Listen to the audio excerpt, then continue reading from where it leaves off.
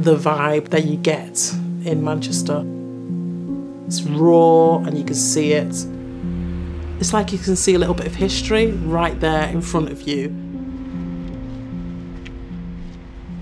My name is Ndidi Ekubia.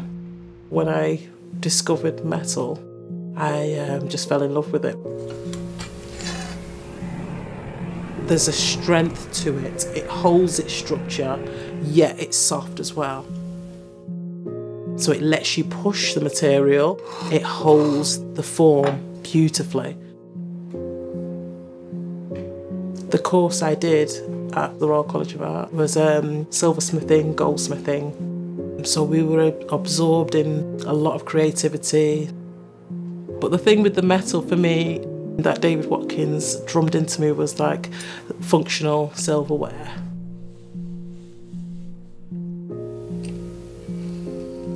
I got the opportunity to make up functions really because I didn't really know about what function or how silver was used. It will look quite sculptural, but you can still put something in it. So you're handling it, you're living with it. It's not just something that you can just just sits on the shelf.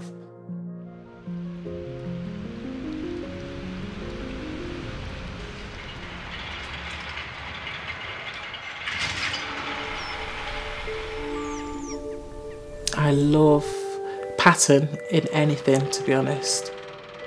I take a lot of photographs of things that I see around me.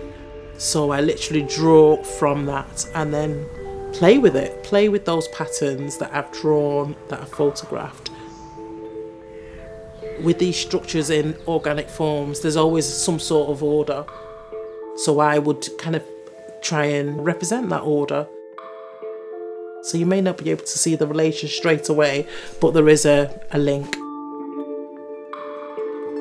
It's tough going to start off with because obviously, yeah, you do get a literally a flat piece of sheet or a disc, and then you would start to raise it using a specific traditional technique. You also have to uh, listen to the metal as you're hitting.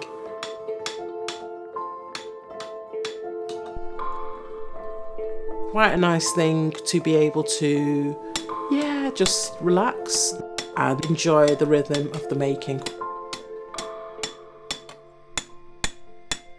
You can hit it too hard, you can labour, stress the material, so I'm assessing it all the time. We're constantly moving the material around as we're hitting it. So each hammer mark would overlap the last one. So you can see here I've started to raise and it's going in. That's that.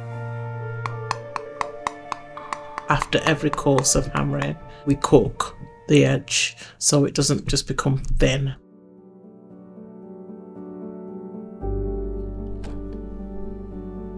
There's various different types of hammers that we use I also use a lot of what we call stakes, which are shaped and polished, and I hammer on those to do raising nice and smooth around the edge so it doesn't actually mark the silver. By the time it's got to the form, it's quite, for me personally, it's quite uh, soft. It's it's round. It's it's ready for a pattern to be put into the surface. So every piece would end up with a grid. And then I can draw a pattern on.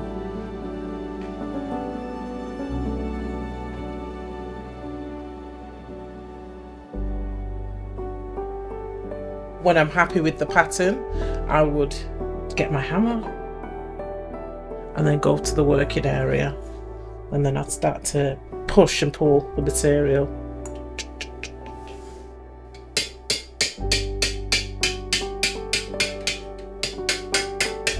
doesn't look the same from every side. It's it's there's that movement within it.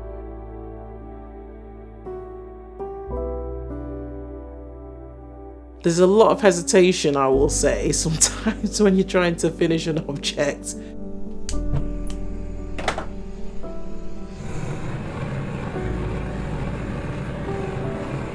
For me personally, there's there's so many ideas that I want to get out. So yeah, you have to keep keep making really.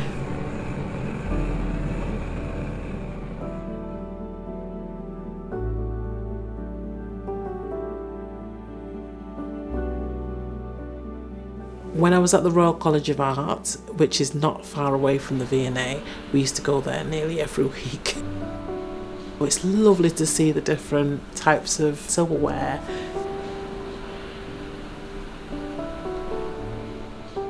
I went in there not so long ago with a friend of mine and I was like, oh my god, that, that's me. that's, that's mine.